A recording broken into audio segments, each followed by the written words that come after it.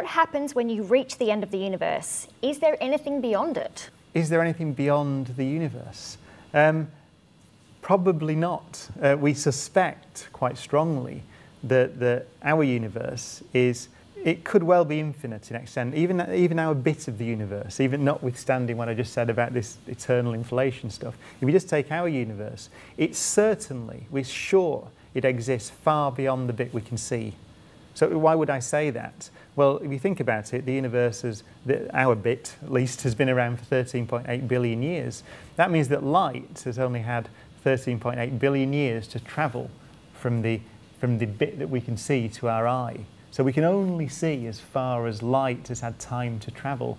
But we think there's a lot beyond that because of measurements we've made of how the universe is, is curved and what the structure of the universe is. So it undoubtedly extends beyond the little bubble that we can see.